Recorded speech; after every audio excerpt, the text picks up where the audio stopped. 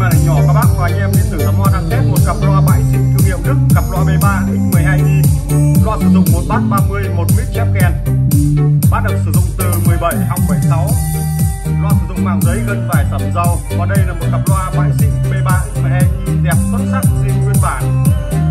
Và cặp loa này có mức giá là 13 triệu 800 bác, anh em có nhu cầu một cặp loa bãi xịn thương hiệu Đức B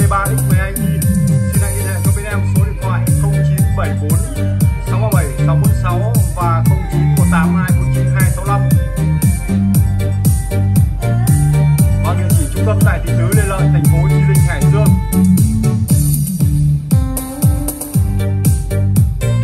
Tiếng bát đánh rất uy lực các bác. Tép lẩy tí tách. Và một cặp loa đẹp xuất sắc của B3 XME bên em tuyển chọn rất là kỹ lưỡng.